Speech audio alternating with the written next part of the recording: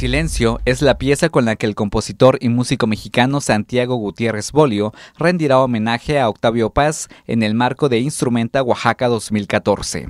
En una charla con medios de comunicación, dijo que los textos en general ofrecen mucho a la música, desde estructura, imagen, múltiples direcciones por mencionar algunos, y los de Paz ofrecen esto y más, textos muy mexicanos que se escuchan muy mexicanos. Los textos específicamente de Paz a mí me interesan mucho porque creo que tienen mucho de música, concuerdo en absoluto con lo que dice Tomás, y también porque son textos que no tienen una intención de cerrar o definir, son textos que son muy abiertos, son textos que, que ofrecen múltiples desenlaces, lo podemos decir, múltiples direcciones, y esto me parece un elemento muy musical cuando oímos música, cuando componemos música específicamente. En esta charla, Gutiérrez Bolio destacó que este trabajo es como un homenaje doble a Octavio Paz por sus obras escritas y a John Cash por sus aportaciones a la música, por lo que tuvo que hacer una conjunción de los mismos para lograr un buen trabajo.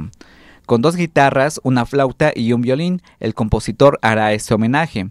Instrumentos que dijo suenan por sí solos durante diversos tiempos. Sin embargo, habrá puntos en donde los intérpretes tocan juntos logrando una exposición de motivos muy interesante. Mi interés por los textos de paz comenzó muy joven, hace, hace casi 20 años. Alguien me, regaló una copia de Libertad bajo palabra y al leerlo los textos tuvieron una impresión bastante fuerte en mí.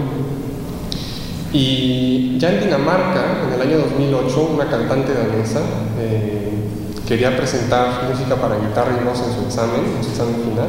Con imágenes de Alan Ramírez, informó para MVM Televisión Celestino Chacón.